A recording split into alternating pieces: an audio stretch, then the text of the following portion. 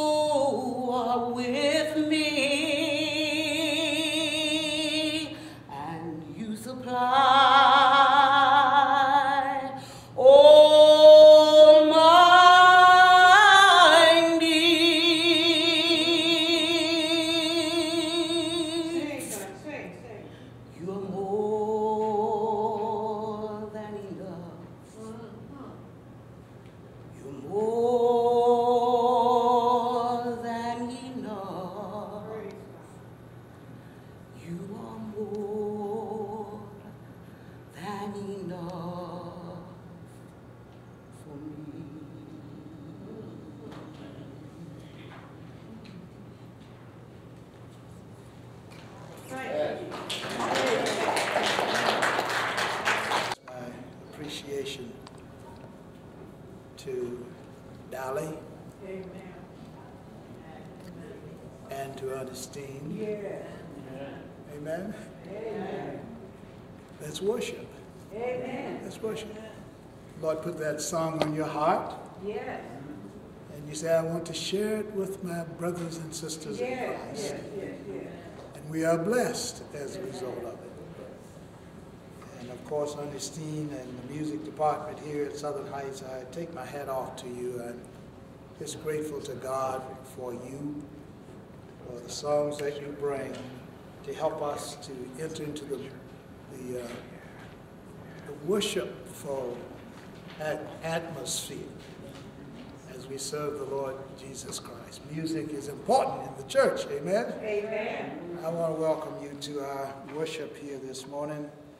And uh, quite frankly, I, I really get excited when I start studying the scriptures. So excited until sometimes when I do it my home, I'm not able to give it to you because between the house and down here, uh, I don't lose it, but I, I'm working on a piece of equipment for my home so that I don't have to come down here to use the little thumb drive and can't find it on the thumb drive and all of the agony that you come through uh, in the work of ministry of our Lord Jesus Christ. Why do you believe what you believe? Is it because of tradition? Somebody told you to believe like you do? Do you have strong convictions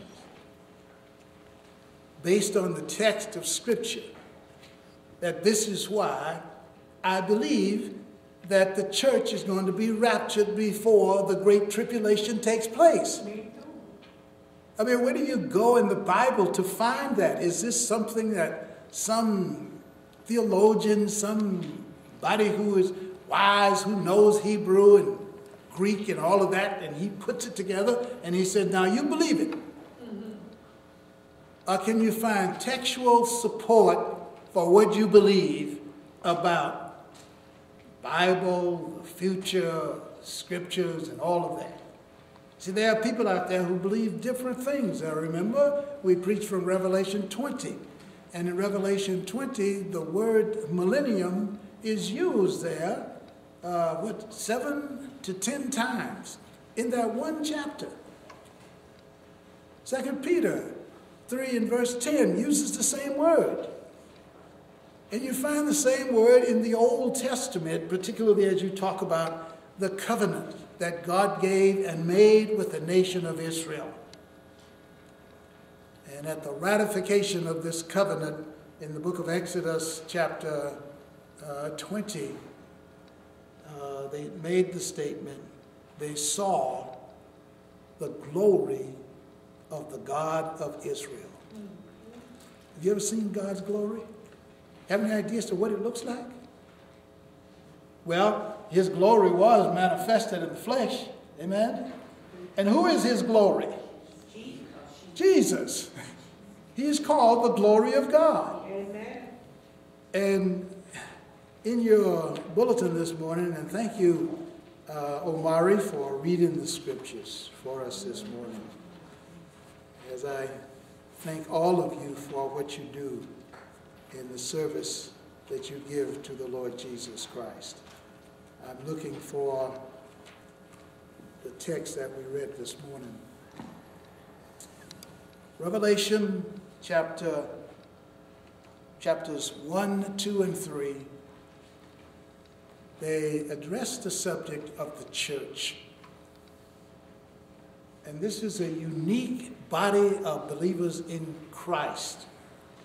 It is a called out body of believers. I mean, God spoke to your heart. God spoke to my heart. I was 10 years of age. God spoke to my life. And I got saved, and I, I believed the Bible. I took that verse, Romans 5 8. But God commendeth his love toward us in that, what? While we were, what? Yet sinners? Yeah. I had a man to tell me one time, you know, he joined the church and he said, I'm no sinner. Yes, you are. He was amazed, and he went to another church and they promoted him. He became the bishop in their church. So where you get that from? And that while we were yet sinners, what did Jesus do? Christ died. He died for us. And I'm crucified with Christ now, Galatians 2.20. Nevertheless I live, yet uh, I, I live in the flesh, yet not I, but Christ lives in me. The life that I now live in the flesh, I live by the faith of the Son of God who loved me and did what? And gave himself for us. And gave himself for me. That's right. Boy, Galatians 1 4 says that Christ died in order that he might deliver us from this present evil world. That's what he did. That's what we have in Christianity. That's what we have in the cross. A deliverance from a life of sin and immorality and rebellion against God. We have that deliverance in Calvary, Amen. the death of the Lord Jesus Christ on our behalf. But I asked you, why do you believe what you believe? And I'm sorry I can't give you this outline. It's, it's in my computer on my thumb drive someplace because I do want you to have it. I want you to be able to do it. But in the meantime, you have to take my word for it. Look at Revelation 3 and verse 10. Perhaps one of the most important verses that has set the stage for what we believe about the eternal uh, life to come. Uh, look at what it says here. And uh, I'm just going to jump right into it. Revelation 3 and uh, what did I say? 10. Yeah. Look at what it says. Because you have kept my command to persevere, I also will keep you from the hour of trial which shall come upon the whole world to test those who dwell on the earth. What a verse. What a verse. And based on that verse as the kind of textual support, we believe in the pre-millennial uh, doctrine of the Bible. In other words, we believe that uh, Christ is going to come and rapture his church before this word of great tribulation, th- th- this word that talks about trial, testing, persecution, affliction. Now, it all comes out of, of verse 10. And Jesus says here, he uses the word there, uh, because you have kept the word of my promise, I also will keep you from the hour of testing, of trial, of affliction. Do you not know? You think you're having it bad now. Just let the church be raptured. Amen. Let Jesus take us out of here. Amen. And brother, you're going to see corrupt government. You're going to see men actually come into the place where they will run to rocks and trees and beg the rocks and trees fall on us Say it back. to keep us from the wrath of the Lamb. Get me out of here anyway. I don't care how you take me out. Kill me. But God says in that verse, and it's, it's textual verse, it really is. Uh, I wish I could take it, take, uh, take it home. Uh, it's, uh, I could send it home with you. But here's what he says here. This word uh, tereo, which means to keep, to watch over, to preserve, to deliver, Amen. used twice in that one verse. And here is the way we read it this morning. Verse 10 Because you have kept my command to persevere. You didn't just stop and quit and give up and go home and pout. no, we don't do that. No. Not modern day Christians, right? you have kept the word of, of my command to persevere. He says here, now that's a snapshot picture. You know, when you go to the park and you want to photograph your child, you take a snapshot. Now, the one thing about the snapshot is that, is that it never changes. We, many of us have artificial flowers in our house, right? The problem with the artificial flower is what? They don't change. It never grows. Amen. You can't smell them. Doesn't give off any fragrance, doesn't grow. It'll be there ad infinitum. If you come back a hundred years from today, don't try that. It'll, be that same old artificial flower. Well, this is a snapshot picture here, uh, in which uh, the aorist tense is used, and it simply talks about we took a snapshot of this at this point, the first time this word, he will, I also will keep you. But it's used a, second way in the same verse. And it's used with a future tense. You know, what, what do you mean by future tense? Say, tomorrow I'm going to do this.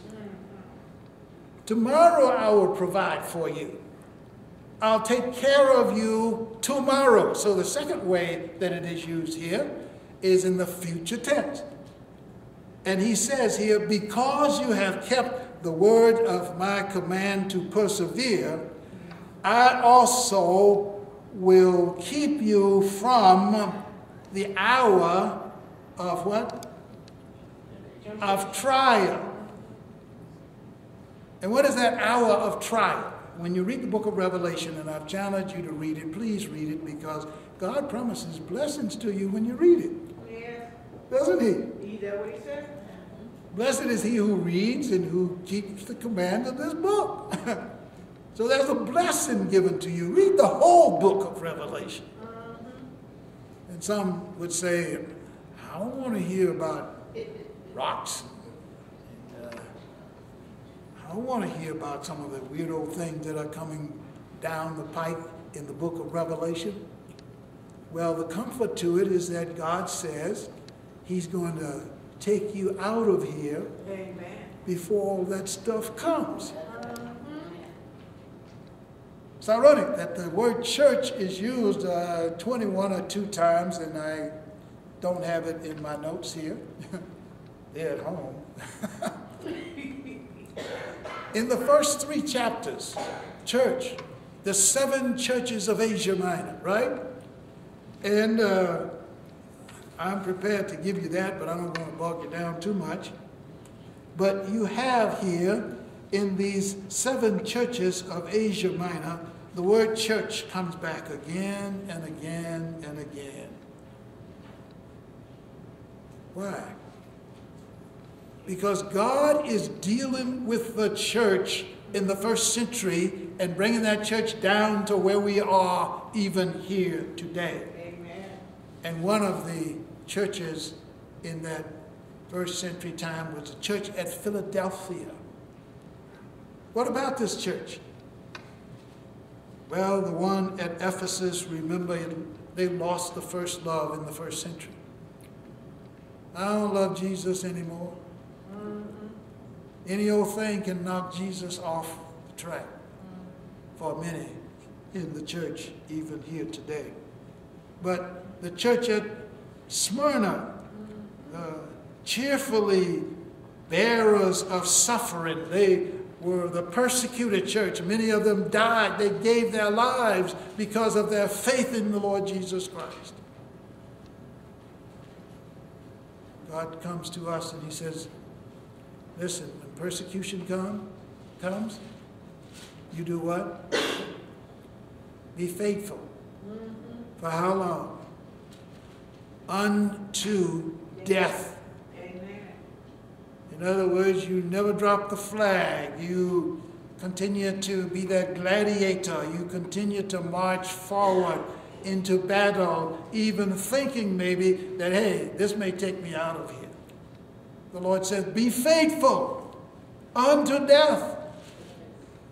And I'll do what? Never think that God's going to take something from you, that that He's going to cheat you. never. When God gives you an assignment, stick there, do what it is that God is calling you to do. If your assignment is to love your wife, love her. Amen. Amen? Amen. Unconditionally, right? yes. As Willie Richardson used to say, give her your charge card. That's your little amen. Yeah. you love her in such a way, and then you say, honey, this is, this is, this is a credit card. Take it, do whatever you want to do with it. Because that's my expression of love for you. Amen. Yeah, you just stick there. Faithful unto death. Boy, I, you know, in my future writings, I have to include some of the examples that I've seen in Southern Heights. And I shall not call names. No, I'll not do that. But a husband who sticks with his wife. Amen. One brother has been with the Lord for a long, long time now. Come and he said, I, I want to be a Sunday school superintendent, but my wife doesn't want me to come. She, she, she, doesn't, she doesn't even come with me. And she never came. And he stepped up to the plate, drove the bus. There are people in Fort Wayne today who listened to his ministry and took them to Cedar Point and Jogger Lake and all of that, you know, because he loved children and he would pick up those children. But yet his wife didn't come with him. You don't always understand what God is doing. When God is at work, just be faithful unto death. Amen.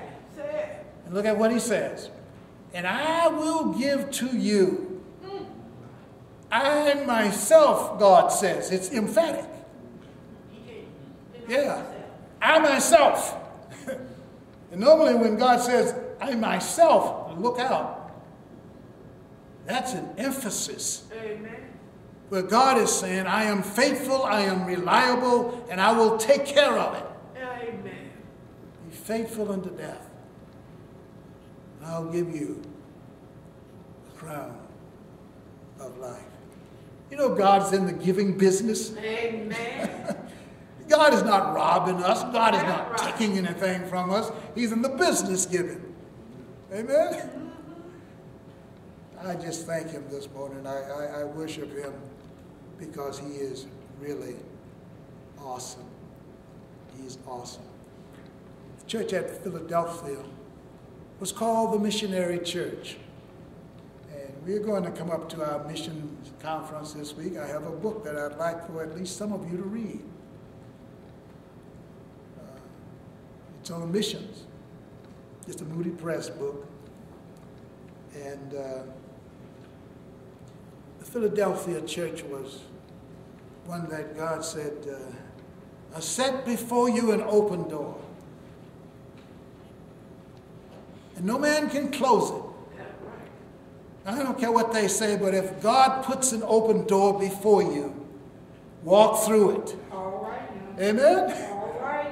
Nobody can close it. It's, it's open. Why? Because God owns the cattle on a thousand hills. Does he not? Amen. He owns you as well. Amen. Amen? And he can send the snow, and no two snowflakes are the same. That's what I'm told. Now, I'm not they in that. I'm told that no two are the same. That's how fantastic God is. And he is worthy of us worshiping him Amen. and giving to him the glory that is rightfully due to his name.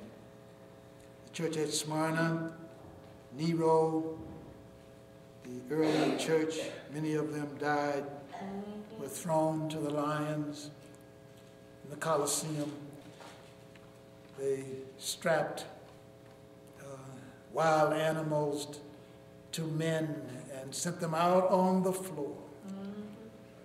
while they looked and they cheered mm-hmm.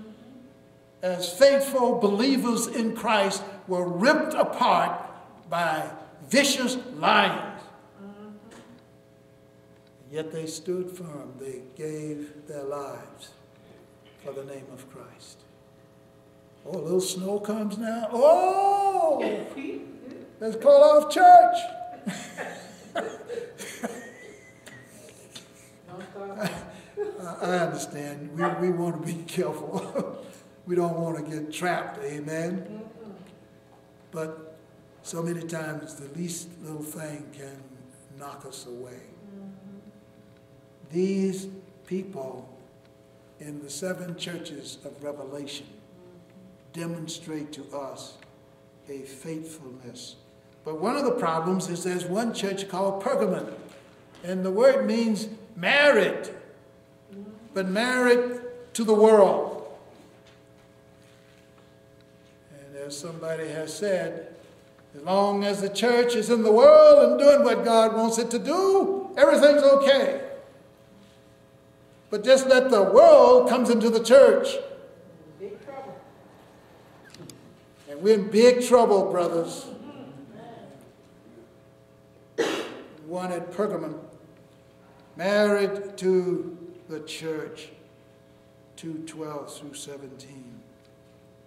They then begin to tolerate immorality. God calls on them to repent. And he says, If you repent, I'll give you the hidden manna. I'll give you a stone. I'll give you a new name. God promises. Amen. Satisfy the needs of his people.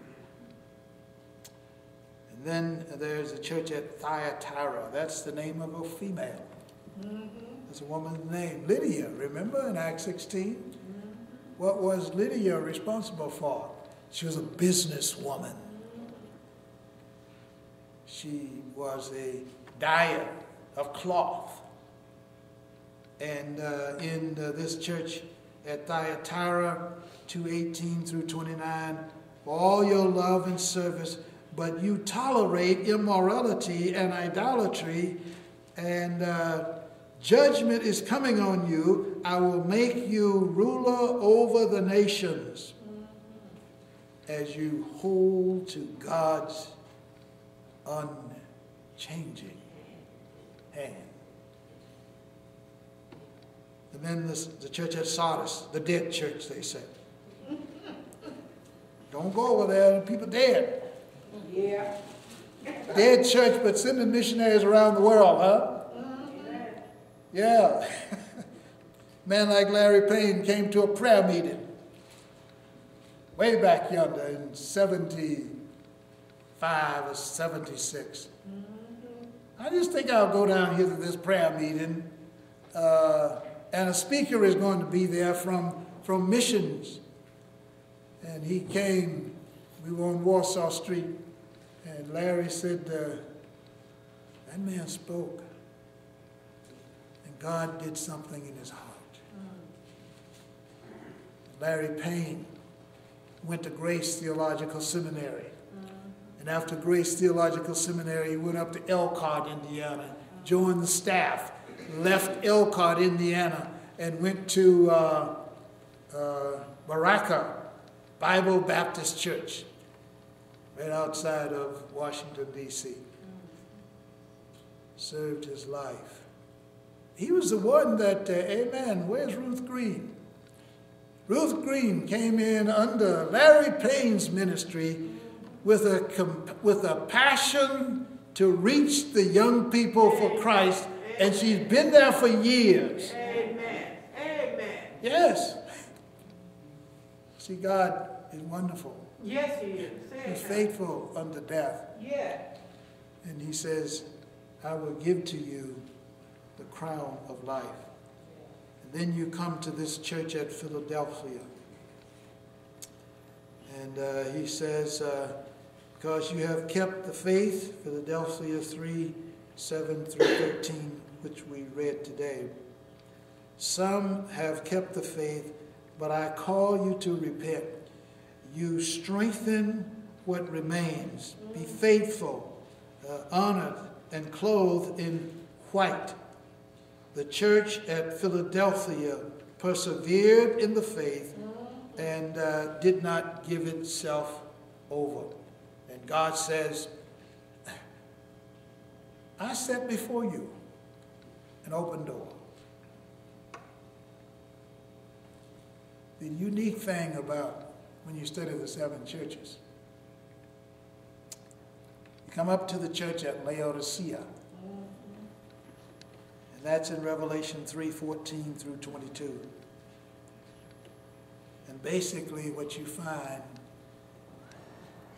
in the church at Laodicea, they were cold, they were lukewarm. The Lord said, uh, I'm going to spew you out of my mouth. I would rather you be hot or cold, but being lukewarm, no, God can't tolerate that. And guess where Christ stands in this church of Laodicean people? He stands on the outside of the church. And he is knocking. I want to get into the church that I died for. And they have shut him out. May we never turn our back on the Lord Jesus Christ. May we always keep him central in everything that we do. Behold, he said, I stand at the door and knock. If any man hears my voice, if he will open the door, I will come into him. I will sup with him. Yeah. I'll have fellowship with him. Yeah. I'll bring joy to your heart and to your life but you have to let him in. Amen. You know, the artist painted that picture, you know? The door opens from the inside. Mm-hmm. Christ will never force himself upon you. He will knock, though, and he is knocking today. I want to be your Lord and your master and your ruler. I want to be your king. Don't think that you can make your own way in this society in which we live. So, you finish with the seven churches of Asia Minor, and you go into Revelation. Now you need your Bible. you go into Revelation chapter 4. See, these are some of the doctrines that people think about. Oh, well, that's seminary stuff. That's not for the common man. This is for the common, ordinary man. It's for you. It's for me. Why do I believe that the rapture is the next thing on the schedule? See, the, the unique thing about Revelation chapters 1, 2, and 3, and uh, it gives us the fact that uh, this book divides itself in such a way that after these things, what God is going to do uh, in the church. Uh, and uh, right in Revelation 1:19, the things which you have seen, and the things which are, and the things which will take place after this, that outlines the book of Revelation. You're right, what you've seen the things that are. You write what is going to happen after this. Look at uh, Revelation chapter 4 and verse 1. After these things, after what things? After the church is over and finished, after God raptures his church and takes them out. Hello? All right now. After these things I looked, and behold, a door standing open in where? Heaven. In heaven. And the first voice which I heard was like a trumpet speaking to with me, saying, Do what? Come up here. This is the church, the rapture of the church. When the church runs its course, and I, I believe the rapture is, is uh, could happen today. When you think of the wicked things that are going on Yeah. in Fort Wayne, Not on the wood. in your church, mm-hmm. not, not, not talking about Southern Heights. Mm-hmm. It's time for the Lord to come and to take his church home. Amen. Now, I said that, but it could be another hundred years, it could be another thousand years. Nobody knows when he's going to come. Amen. We know that he has promised he will come. Right. It's going to be imminent. And uh, I'm so glad that when he comes, he's going to take oathfully in the rapture. You see, come up hither, come up hither. And you, I'm not going into this today. I want to go back to why I believe what we believe and try to make that a little clearer for us here this morning. After these things, the rapture takes place. Come up here. I will show you things which must take place after this. And when he says that, he brings you to chapter 4 and uh, and uh, the living creatures show us how to worship. You read it, chapter 4. Read it in chapter 5. Worthy is who? The Lamb. Worthy is the Lamb, chapter 4. Worthy is the Lamb, chapter 5. The living creatures, not human beings. Because we human beings, we like to show off, you know what I mean? Yeah. Yeah, yeah, yeah. We want to get the credit, but these four uh, living creatures and uh, 20 and four elders, these angelic beings show us something about worship. Wish we would all just read it. Amen. And God's never uh, anti worship. But when you read the book of Revelation, you can tell this. You go to Revelation 13, men will worship stones, Amen. men will worship images, and they'll give their lives for them in many instances. But make sure you're worshiping the Lord Jesus Christ. Now, you say that's that's hot water there. It's all right. God desires that we do what? The Father is seeking such to worship Him.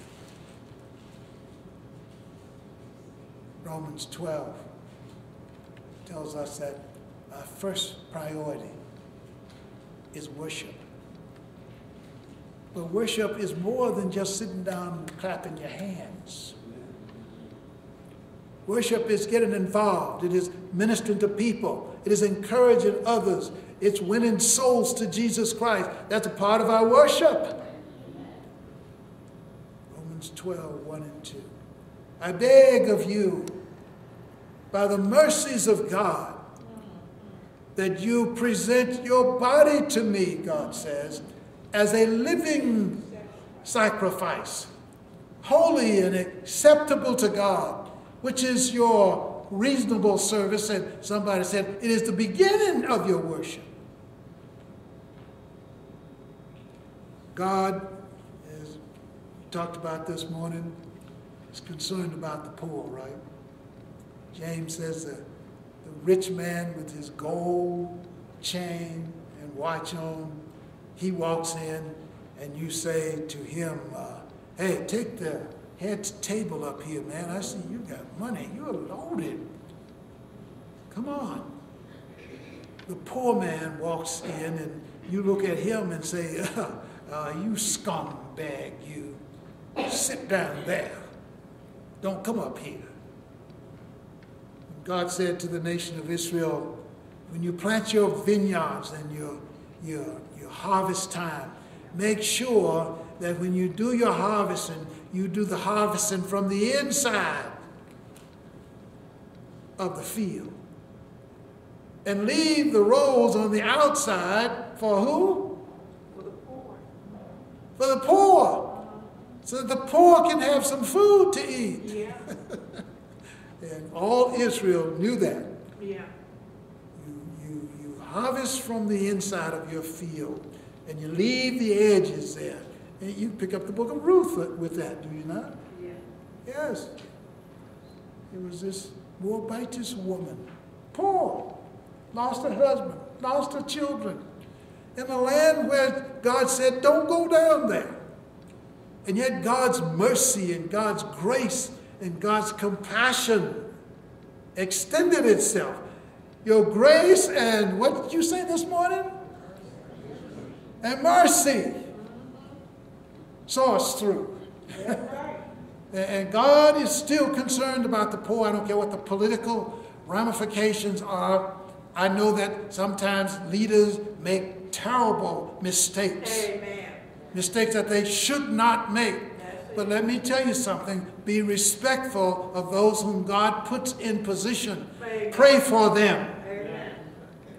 I'm not saying you're going to follow them everywhere they may want to send you, but make sure you pray for them. Why? Because they are in the place that God has put them, and I think that the church ought to pray for its leaders, Amen. Whether Democratic or whether Republican. Amen. Amen? Yeah, God put us here, amen, to uh, do whatever we can to assist and encourage others to come to the Lord Jesus Christ. Let me go back to the text here, if you don't mind. Look at verse 10 again. He says, Because you have kept the word of my promise. What God said, you have done the best you could to obey it. You have kept the word of my promise. And when God makes a promise to you, you can take it to the bank. Amen. Say it that. You have kept the word of my promise. I also will keep you from the hour of tribulation, of persecution, of distress, of peril that, that's going to come upon the whole world. You say, well, maybe Paul believed that, but I don't believe it. Oh, yes. God says, I myself will keep you from the trials that will come upon the whole world. Now, it doesn't mean that you can't go through punishment. Christians are dying today in some countries because they love the Lord Jesus Christ. Amen. There's no automatic guarantee that you will not lose your life in death. There's no automatic guarantee.